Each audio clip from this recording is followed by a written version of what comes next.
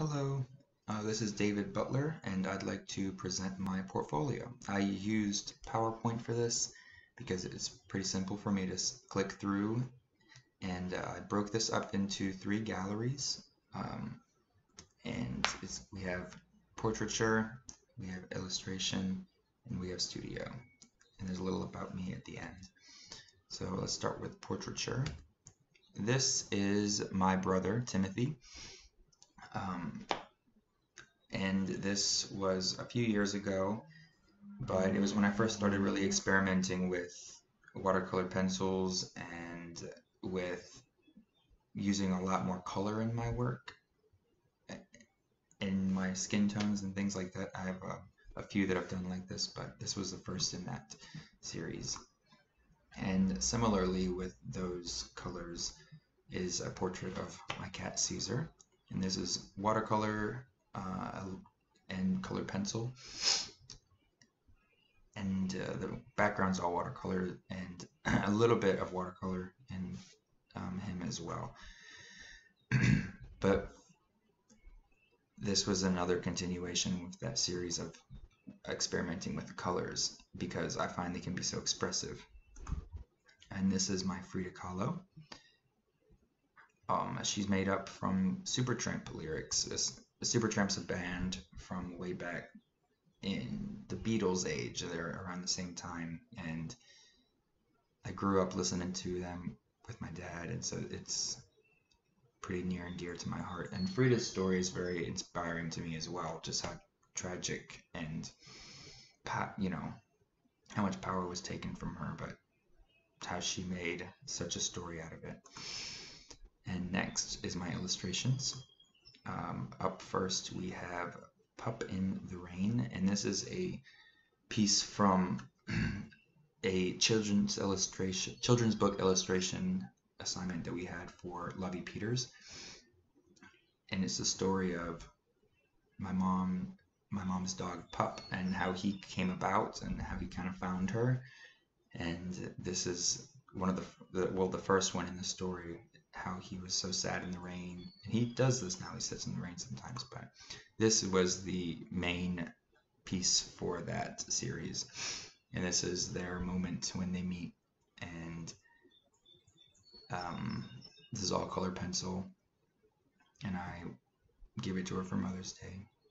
But this is a bubble but it's on black and I, um, black paper and I really wanted to try to make those colors pop and um, kind of, you know, scream at you. So, and then finally is my studio collection, which is just kind of more of everything versus being in a specific category.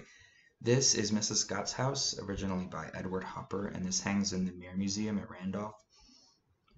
And I really what captured me the most at first when I saw it was just how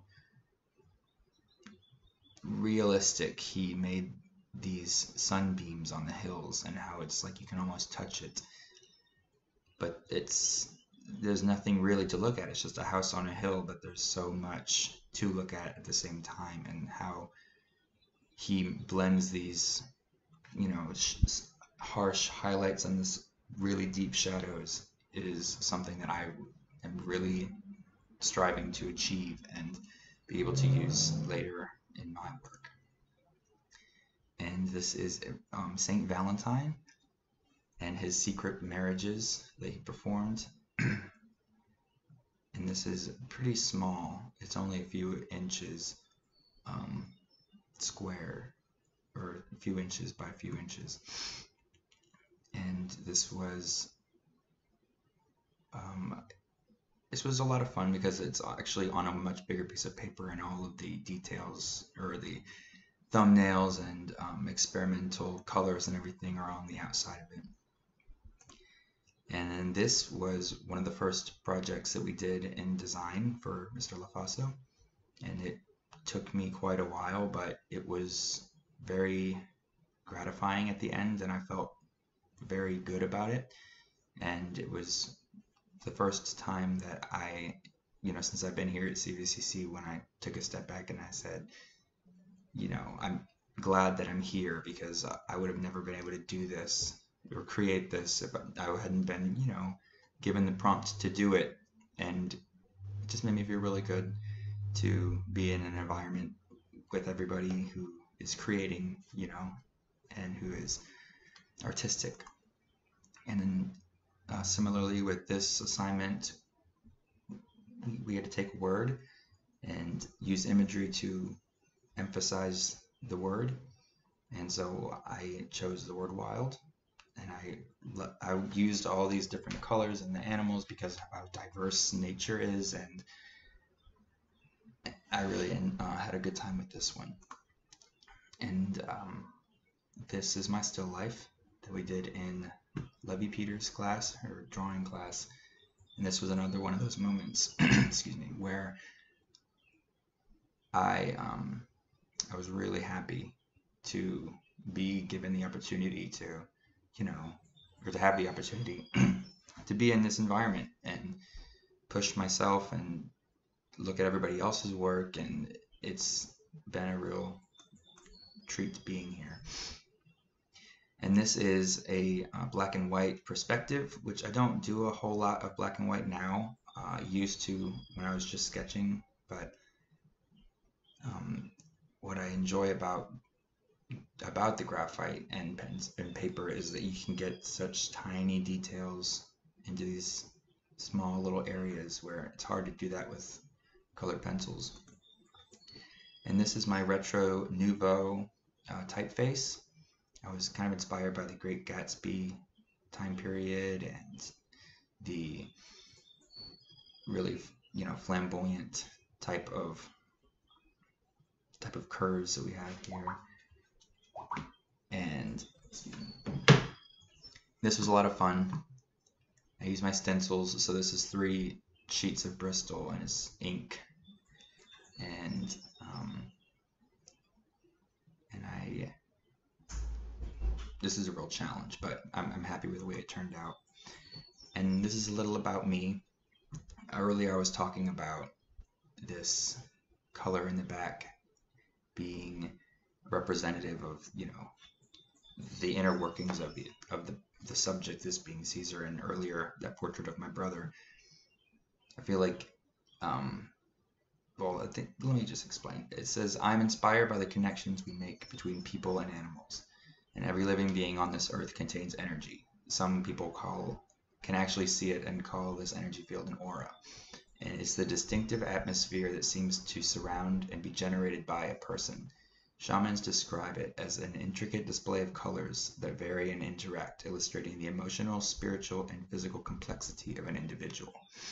And I kind of, that's what I want to go for here, and what I really want my work to do I want to, if I'm doing a portrait, I want to capture that the spirit of the person rather than just what they look like. But I feel like that can be done in almost a literal way. It, I don't claim to be able to see these auras, but I think it's something we can all feel, and it's an energy and a um, like an invisible string that connects us all together. And when we're with people that we love and with our animals and our pets, I think that those times and those feelings are really the special ones that are hard to describe. I think that art can do that in a way that words can't. And, you know, I hope to, and that's kind of what I've learned from being here is there's so much more to, there's so many, you know, different ways to do something. And, after all this, I, I you know, after we finish grad with this semester and after graduation, I hope to get a scholarship at BCU and um, to further my my art education in the studio, and eventually to um, be a professor later down the road after I, you know, had a career and have something to teach. And lastly, I just want to say thank you to everybody who's been a part of it with me and been on this journey, especially this last semester. And I want to thank Donna for all her hard work this whole time. And just, I really and thank you all for listening. And I hope that you have an awesome rest of your day.